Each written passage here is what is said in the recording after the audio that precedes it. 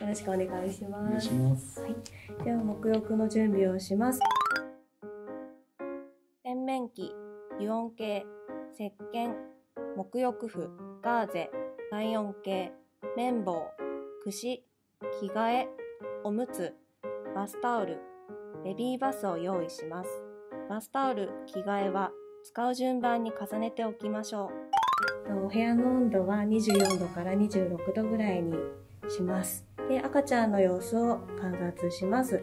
えっと、機嫌が悪い時とか元気がない時下痢がある時それから37度5分以上の発熱がある時は入浴を控えます。ではお熱を測ります。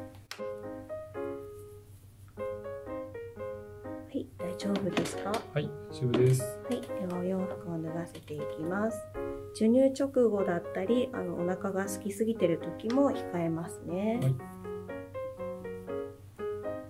最後におむつを取ります、はい裸眼棒にした時は赤ちゃんの皮膚の様子を全身を観察していきます。はい、それでは沐浴布をかけます、はい。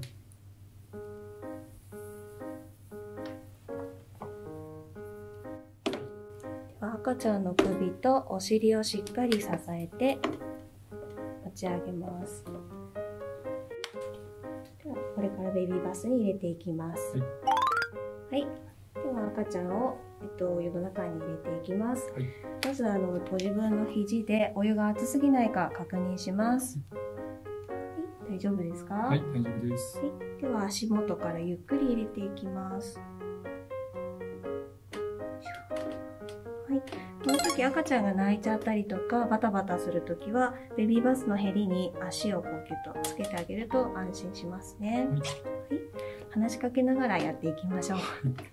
熱くないかな？綺麗にしようね。はい、い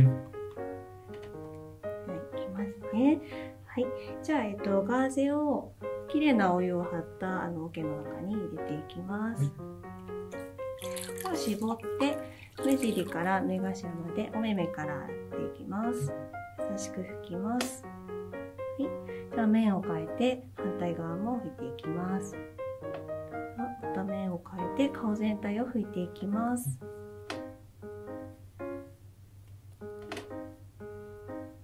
耳も拭きますね。はいそしたらガーゼはベビーバスの中に入れてもらってと髪の毛を濡らしていきます。頭を洗います。